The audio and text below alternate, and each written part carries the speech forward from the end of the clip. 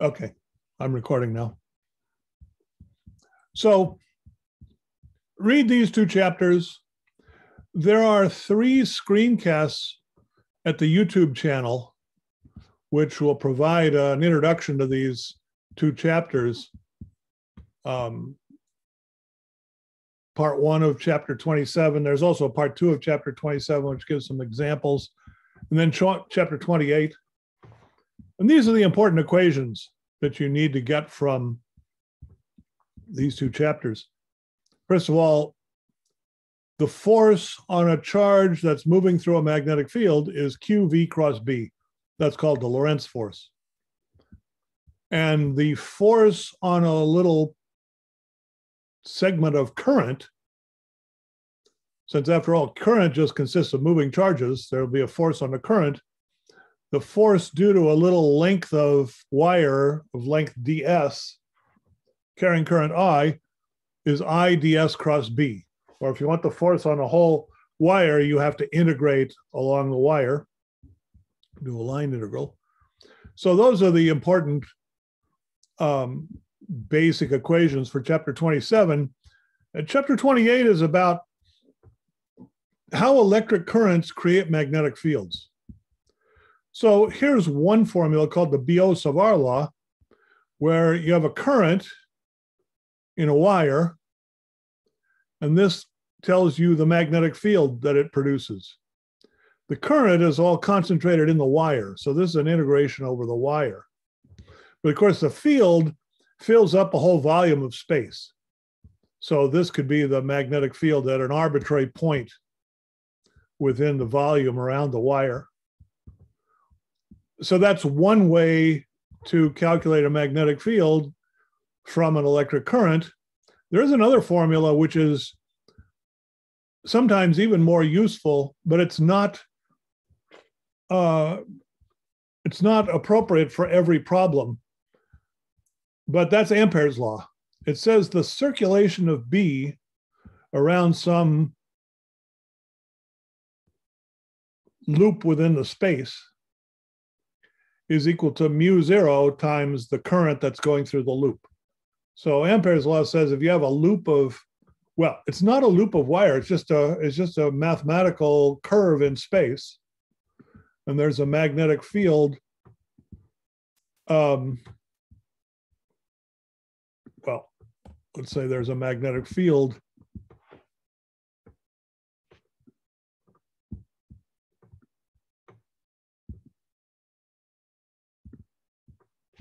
which is circulating around in this volume. If you calculate the line integral of B dot ds, that's the circulation of B around this loop, that will be equal to mu zero, that's just a universal constant, times the current that goes through the loop. So if I put the current in a different color, let's say there's current maybe in a wire.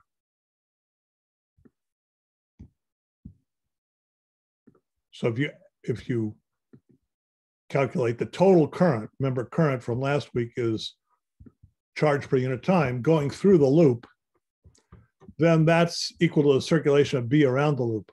So for certain problems where there's a high degree of symmetry, you can use this result to determine B due to a current. So these two topics uh, you'll find in chapter 28 or in the screencast of the YouTube channel. And there'll be some LON-CAPA problems where you have to use these. So that's sort of the subjects of this week. And now what I want to do at, at this uh, meeting tonight is show some example problems. So here's a problem. It's one of the LON-CAPA problems. Oops.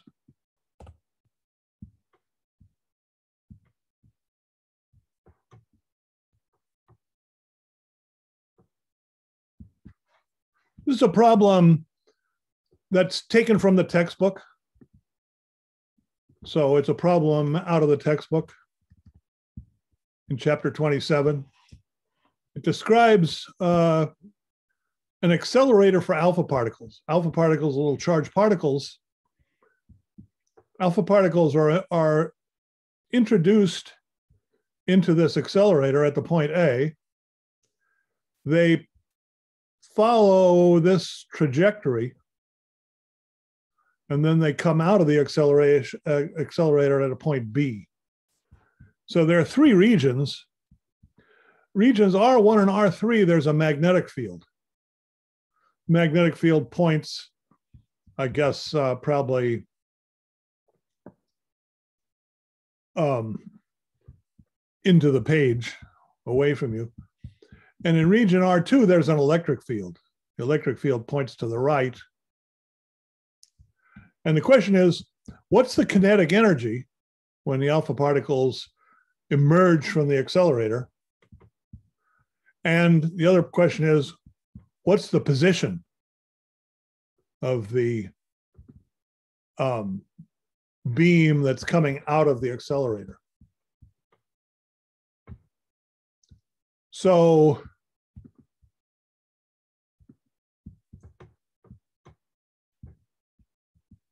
in a magnetic field, a particle travels along a circular arc and the kinetic energy does not change. That's because the magnetic field is perpendicular to the velocity. So work is force times displacement, but the force and the displacement are in perpendicular directions by the Lorentz force. So there's no work done by the magnetic field. And if you think back to mechanics, the change in kinetic energy is equal to work done by the forces.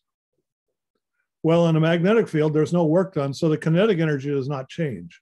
So, for example, the alpha particle is introduced at this point. It travels around on this arc, but it has the same kinetic energy at the lower point on the arc. Now, on the other hand, when it goes through an electric field, the electric force is in the direction of the electric field. So as it moves along that electric field, there is work being done. So the electric field does do work on a charged particle, and therefore the kinetic energy is increasing.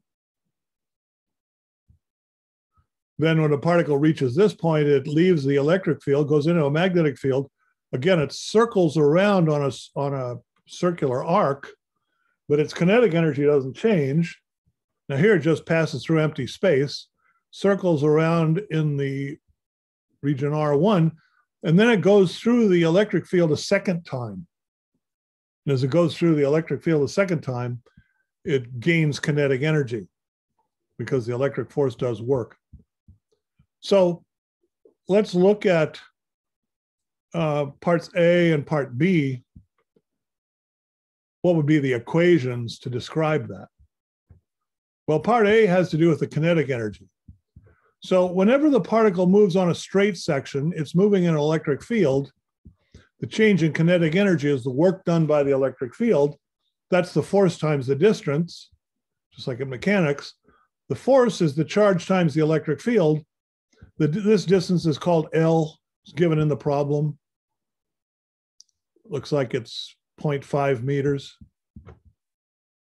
And it goes through the electric field, each particle goes through the electric field twice.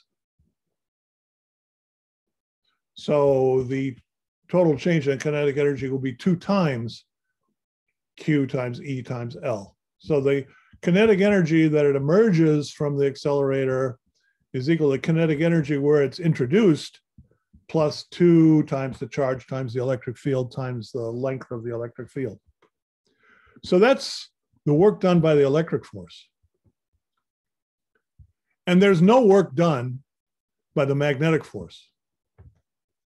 Now, part B is to determine this distance. You know, the particles are introduced at some position A, which has a y coordinate y sub A, they travel around in the accelerator, they emerge from the accelerator at a different y value, at a different y coordinate, y at b, and you're supposed to calculate delta y. How much did y change? You see y decreased. And so that occurs in the magnetic fields. So in each curved section where it's moving on an arc, um, well, the equation of motion is Newton's second law. Mass times acceleration is equal to force. Acceleration on a circle is v squared over r. So mass times v squared over r is equal to the force. That's q times v times b. And you see you can solve for r, the radius. The radius is mv over qb, or in terms of kinetic energy, kinetic energy is a half mv squared. So v is the square root of 2k over m. So for each of these circular sections or semicircular sections, you can calculate the radius of that semicircle. In this first semicircle, y changes by two times that radius. It, it goes down. So delta y is minus 2r1 on the first arc, this little arc. On this arc, y increases by two times the radius for R2, and then goes through again on a circle of radius, or a semicircle of radius R3, and delta and y changes by minus two times R3. So delta y is minus 2R1 plus 2R2 minus 2R3. So this is kind of typical of accelerator, particle accelerators. Uh, electric and magnetic fields are used to accelerate the particles. The magnetic fields accelerate the particles by changing their direction of motion. The electric fields accelerate the particles by increasing the kinetic energy.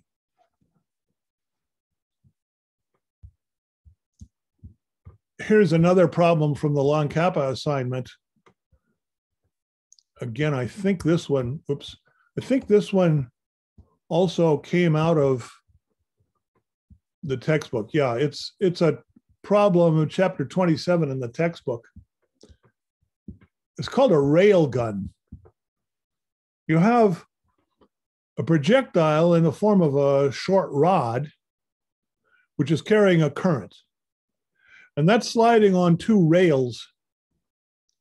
And these rails are attached to an electromotive force to drive a current uh, so that there's a current in the rod. And at the same time, there's a magnetic field produced by some big magnet, magnet or maybe by an electromagnet. So the electric current crosses the magnetic field. So there's a force on the rod.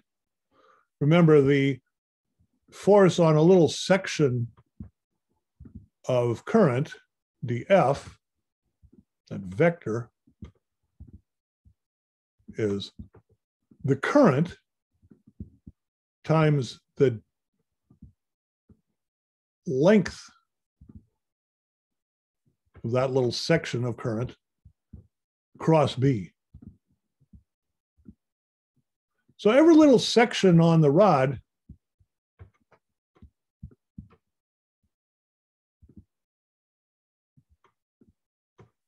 experiences a force in the direction of I cross B. I have to use the right hand rule to figure out what direction is. But if you let your right hand fingers curl from I, which is into the board or into the page, cross B, which is upwards, then your thumb points in the direction of I cross B, which will be in this direction. So the rod will be accelerated parallel to the rails and the problem is to calculate the final speed.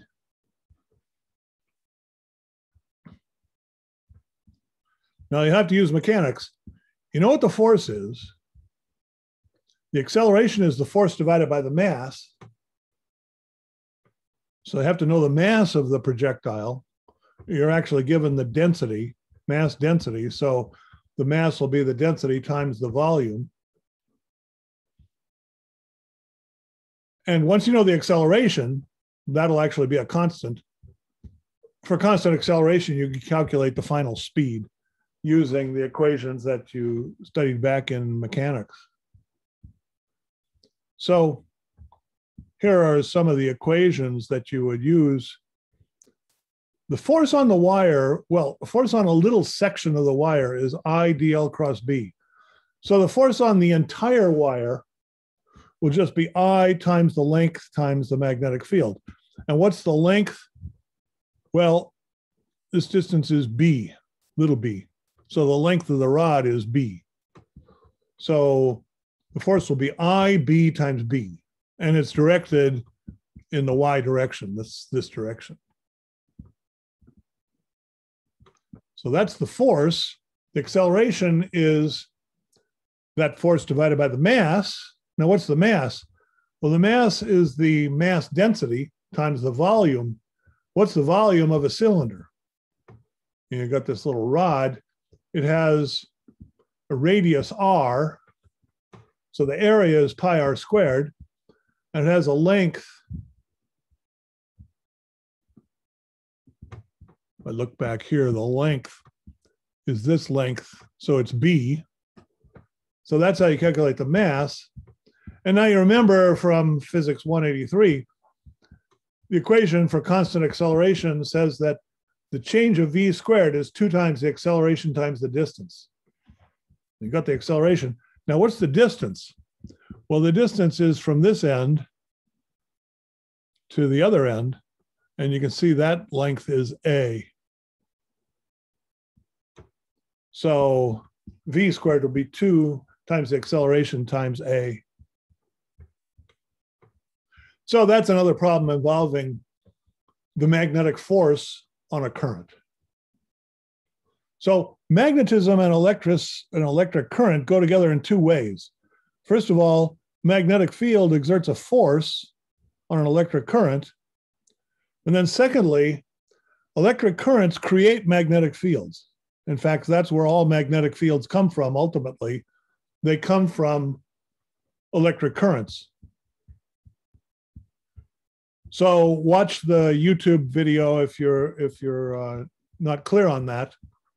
But the next problem, no, the next problem is a little different. The next problem is again involving a force.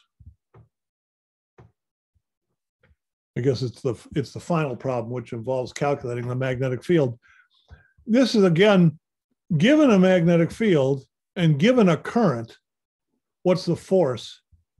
Now, the current in this case is a little circular loop of wire carrying a current I.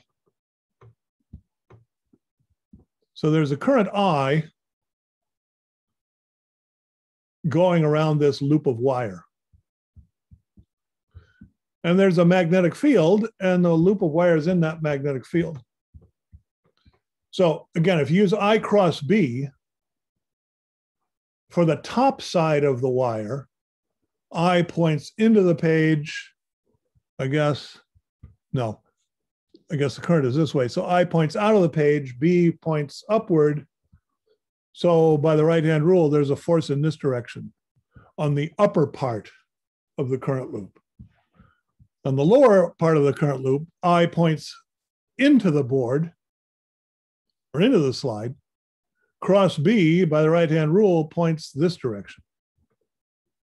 And since the current is constant around the loop, the forces around the loop will all cancel. So there's no net force, but there is a net torque because you have forces in opposite directions on opposite sides of the current loop.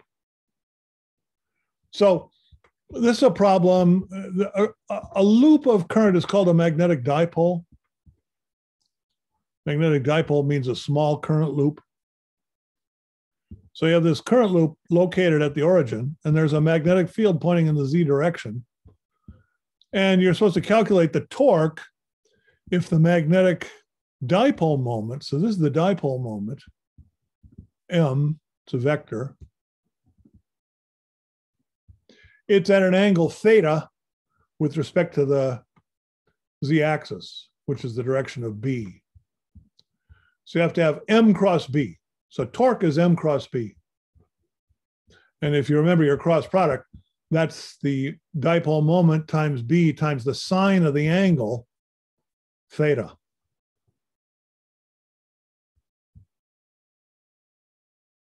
And now if there's a torque on an object, there has to be an angular acceleration.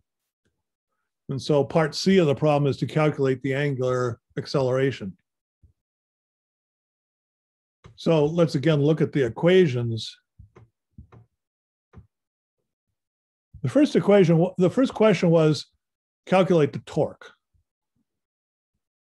Well, again, I think this comes from chapter, I don't think this is a problem taken from the book, but there's a section in chapter 27 about the torque on a current loop. It's M cross B as a vector. Um, the magnitude of the torque is m times b times the sine of the angle between the two vectors. m here is the magnitude of the dipole moment, so that's what's called m0. So m0 is given here.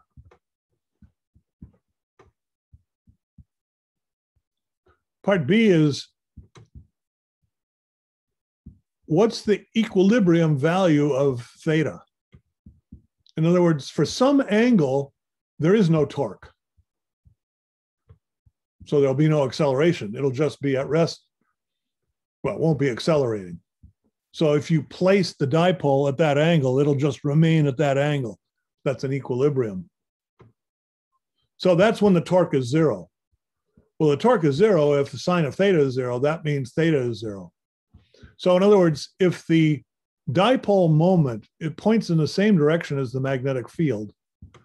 That's the equilibrium position. The torque, I guess this torque will be in this direction. The torque will be in this direction, the torque vector. So again, using the right-hand rule, the acceleration will be up like this, directed towards lining up with the magnetic field. So a magnetic dipole wants to go to the equilibrium where the magnetic dipole moment and the magnetic field are parallel.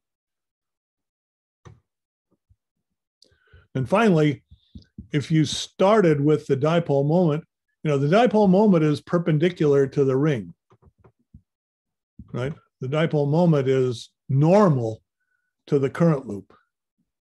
So if you started with the current loop in this direction and you released it, what would be its acceleration? It'll have an angular acceleration. And here you have to go back to physics 183 again, angular motion, the equations for rotational dynamics. You remember the moment of inertia times the angular acceleration is equal to the torque. So this is not current, although it's using, it's again using the letter I, but this I is the moment of inertia. This is just something from mechanics. Moment of inertia times angular acceleration is equal to torque. So you solve this for the torque, for the angular acceleration. All right, so those were three problems, all involving chapter 27. Now, this last problem is related to chapter 28. I don't think this comes from a problem in the book. But in chapter 28, Well, the question is, what's the magnetic field? And the Biot-Savart law is discussed in the first section of chapter 28. It says that if there's a current, if there's a little current I times the length of wire, IDS, cross r hat divided by r squared. This is i hat, a unit vector. That will be the direction of the magnetic field. The magnetic field is mu zero, that universal constant, divided by 4 pi. I ds cross r hat over r squared. Now that's for current in a wire. So that would be, for example, if I had current in a wire going in this direction,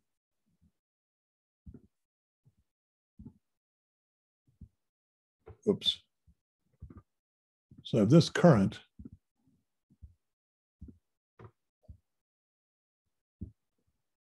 I'm having too much luck here. If I had this current and a little section of the wire, a little section, let's say this little section here is ds. And I want to know the magnetic field someplace in the volume around that wire, I would use this equation. That's the Biot-Savart law. Now, this problem is different. This problem just has a single charge moving in this direction. You know, current is the motion of charge. So the simplest current of all is just one charge, one particle moving in that direction. So don't know if this is written down in the book, but anyway, it's the same equation, except you replace IDS by Q times V, or delta Q, Q times V actually. See, Q times V has the same units as I times ds. And current, it comes from the motion of charge. So if the charge is Q and the velocity is V, Q times V is equal to I times the length. This is amps times meters.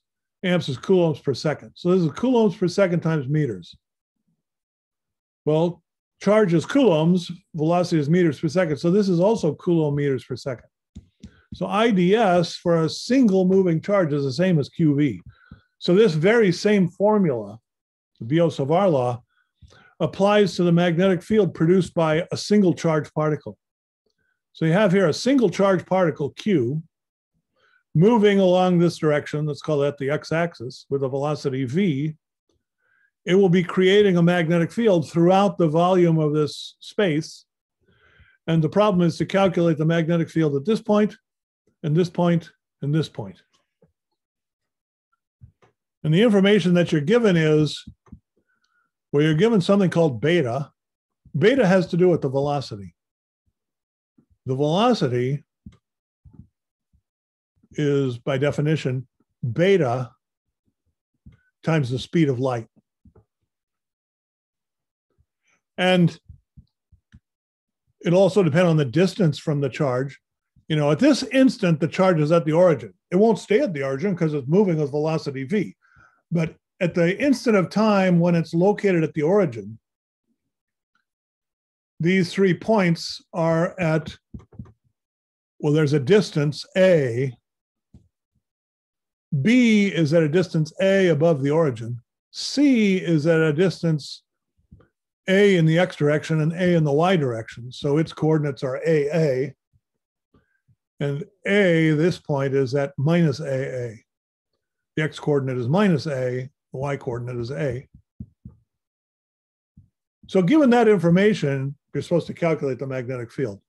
So again, let's look at what equations would be would be needed to do that.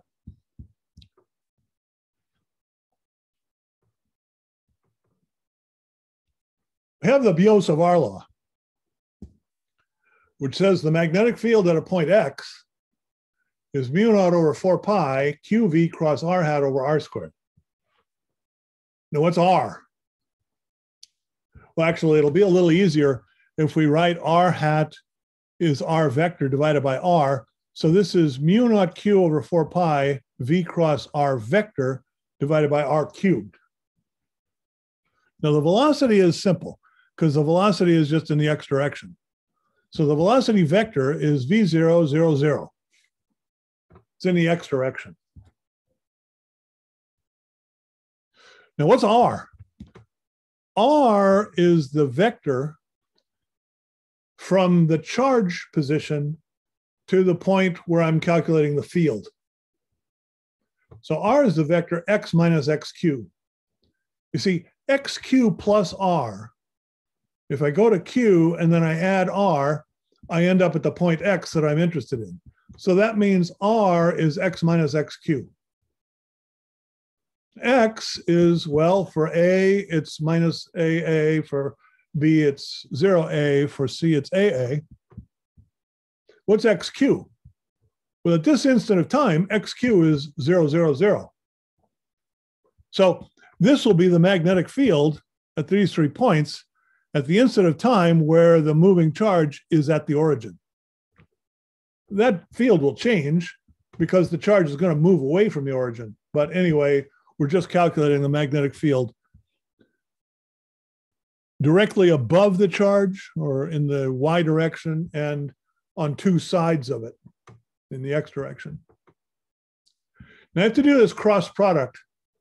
So I hope you've uh, encountered cross products before.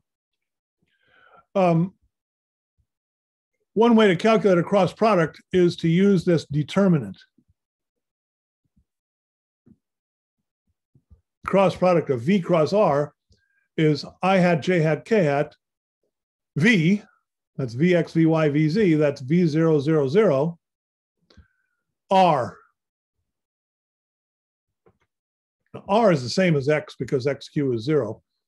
So R would be AA0 at this point.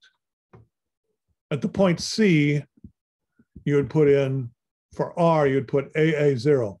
For B, for point B, you'd put in 0A0. So this determinant, think back to high school when you calculated determinants, that's a mnemonic or a little reminder of how to calculate the cross product of two vectors.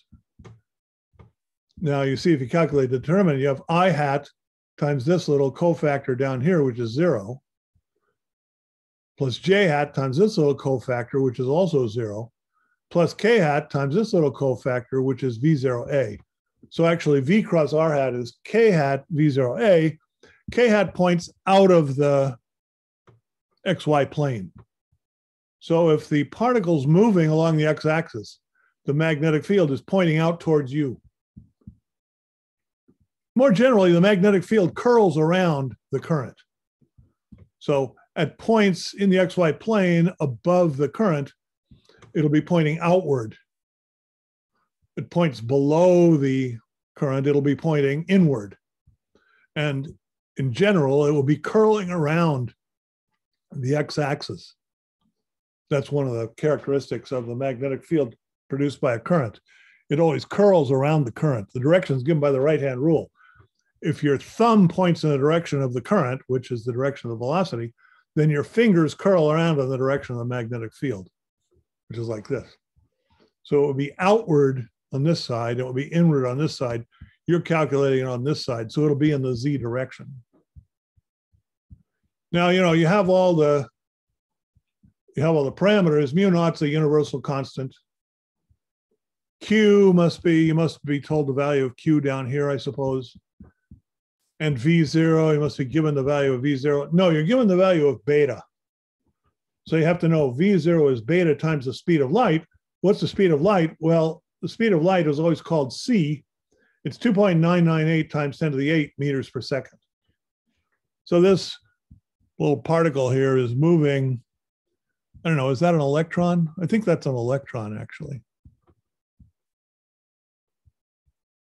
No, it's a particle charge Q. The charge is Q. Can't read that. I don't know. Maybe maybe the charge is the charge of an electron. I'm not sure. Maybe the charge is E. So I think this is an electron. It says a particle with charge Q, but I think what it really should say is it's an electron moving along the x-axis. what's the magnetic field that it's producing.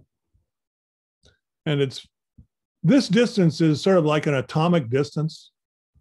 It's 5.9 nanometers. That's a little larger than an atom, but it's kind of comparable to an atom. Size of an atom is something like a tenth of a nanometer. This is sort of 50 times larger. So I better check that problem that it says that Q is E, the charge of an electron. So you've got all the necessary numbers, you know, you, you calculate this. It's like, it's the same in all physics problems. First, you calculate the answer using algebra and not using the numbers until you get a formula. And then once you have a formula, you get out your calculator and put the you know the numbers into the symbols and use your calculator to calculate the numerical values because LON-CAPA will expect you to give numerical answers here. So that's an example of calculation of a magnetic field. I think there are probably some other LON-CAPA problems which involve, for example, what's the magnetic field around a current in a wire? So that's a standard problem. If current in a wire, there'll be a magnetic field that circulates around the current. So the magnetic field curls around the current. If the current is in this direction, the magnetic field will be this way. What's that? Counterclockwise.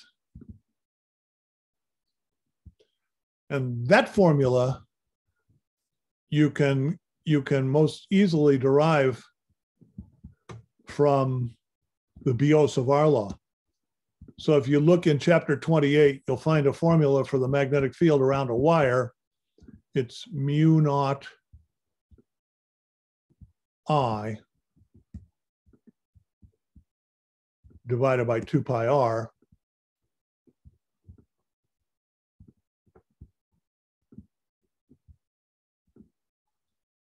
where this distance is r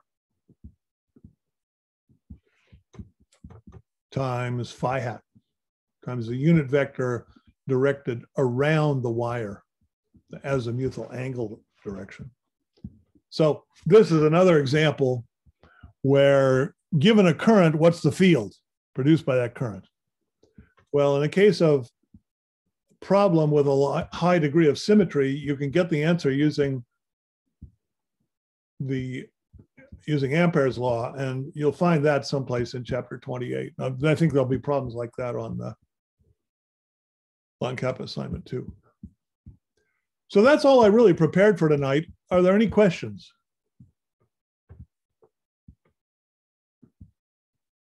I don't see any questions on the chat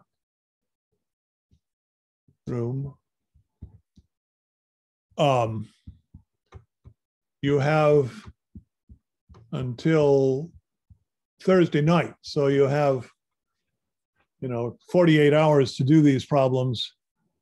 Um, you know, start working on them now. Don't leave them until the last minute because if you leave them all to the last minute, you'll be under a lot of stress to get them all done in time before the deadline.